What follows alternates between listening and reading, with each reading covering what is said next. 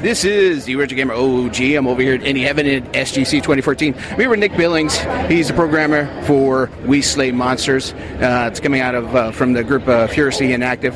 So, Nick, I, I played this for a little bit, and the game itself I, I, I put it I, I was putting it uh, when I think about it, it it's like a turn-based Diablo but with cards. I, it's it's a dungeon crawler.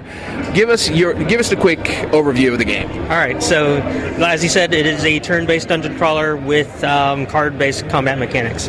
Basically, you make your best poker hand to do more damage and more interesting effects to enemies and um, and basically your your game is to upgrade your academy. So you run an academy for dungeoneering, and you send out your heroes on their final exam to clear a dungeon, and they bring back money and improve your academy, and you continuously send out more heroes. Um, well, let's see the game uh, the game start up because there's different classes, right? There are different classes. Um, right now, what we have playable is the wizard. Okay. So let's uh, let's see how the wizard works, and then also with the game. Uh, because, I, like I said, I played it a bit, and you, when you get the five cards, you're like, ooh, let, you know, I'm hoping for a three of a kind. So, so here we'll see the overview of the map. Um, over here is your academy. You can go here to upgrade your wizard tower and um, other buildings. Um, I guess we can go ahead and upgrade Wizard Tower once. And, and when you upgrade, uh, that leads to uh, your well, the students being stronger, having better equipment, and so on. That is correct. You'll add more abilities to your characters. You'll add um, better stats and better starting equipment. So let's go back and we will start a dungeon here. So dungeons are randomized and um, the character appearances are also randomized. They also have a random starting perk. Um, you, you mentioned Diablo before. We played a lot of Diablo, and definitely there's some influence there. Yeah. All right, so we'll select this guy. Now, why why poker? I, I, know I know card games are, are getting they're becoming a big deal. It's the collectibles are huge in the mobile market, but why why why integrate the actual poker mechanic to it?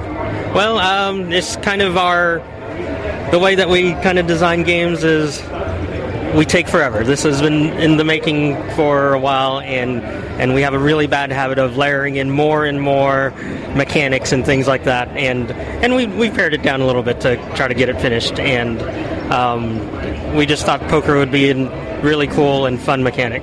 You, you know, people are going to get addicted just for that, right? Um, we hope. All right, so let's uh, see a bit of the gameplay.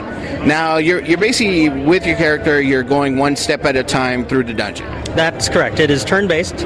Um, it you take a movement, and all the other monsters on the screen take a movement. Um, sometimes, when there's a lot of monsters, it may take a little bit longer. That's part of our tuning that we're doing right now in the beta stage.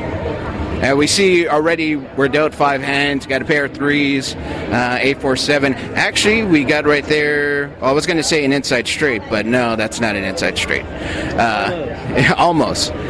With the, the pairs, so the dynamics with the pairs and the three of a kind, uh, what is that? How does that change what the cards do? Well, um, so each deck has six suits numbered one through nine.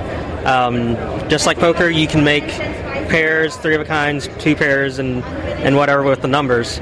With the with the suits, we will allow um, a flush with just three cards instead of requiring five cards to make a flush. And so each suit also has a different ability, and matching a flush will make um, a more powerful version of that ability with a little bit more interesting effects. Whereas higher numbers will give you more damage, and matching um, pairs and three of a kinds or whatever will also increase the damage done. Okay. Well, let's see uh, if you could take down one of these guys with uh, the pair of threes. All right. Okay, and uh, moving along here. Now, while you're moving, all the monsters in the uh, in the dungeon are moving as well, right? That is correct. Okay, and that makes it to where, well, it, when it comes down to it, you're going through the the dungeon, and is there sort of an end boss to the dungeon, or is it really just a matter of grab as much gold and equipment as you can, get out, and then do it again? There is a boss to the dungeon. You you complete a dungeon by defeating the boss and looting him. So I just brought up the map. Um, it's shows where all the enemies in the dungeon are. Um, the green squares are enemies that are lower level than you. The yellow squares are enemies that are the same level as you, and the red squares are enemies that are mo- higher level than you.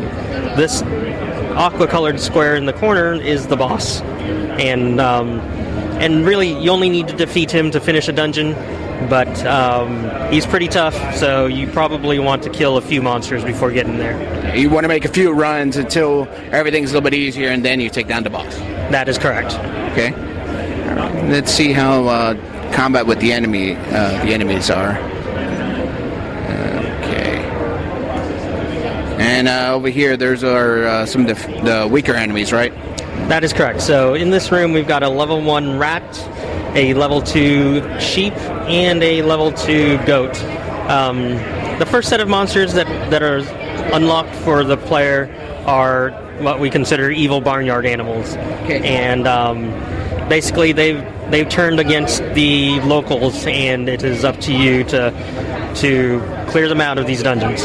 Um, as you play more and complete more dungeons, it will unlock more difficult and more different kinds of enemies. All right.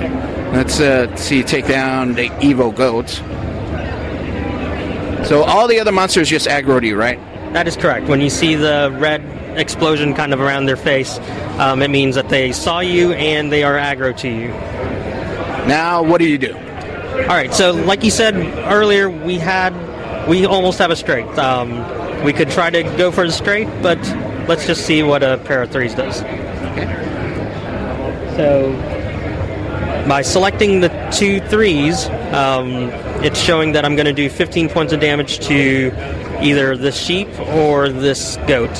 Um, it, enemies that you can hit with these with this attack will um, be will have their damage highlighted here. So, it, Well, let's take out that goat. all right. So that green orb gives you a shield. Um, so now I've got a shield that will absorb some damage. Um, now we've got a pair of fours, but I'm actually going to try to save the lightning bolts up so that I can show you a flush. Okay. So we'll start with this um, seven, and the icon here changed from a number to a skull, meaning that I'm going to do enough damage to kill the goat. And it's gone, but the other one started attacking. That's correct. So I've, I've now got a bowling ball. Bowling balls, their ability is to stun the enemy. So I'll drop a bowling ball on this sheep, and it will be stunned, but um, this rat is still attacking.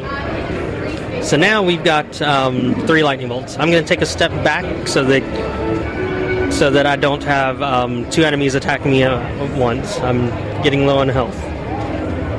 And normally a lightning bolt will hit one enemy, but with a flush of three, it will hit two enemies. So it like kind of like a chain lightning effect. So I'll fire at the rat here, which will also chain to that sheep which exploded. So it took it out. So you could have taken out the enemies one at a time with the card, but the fact that you held on held on to certain cards, uh, you're able to take uh, take two of them out at the same time because you had the flush.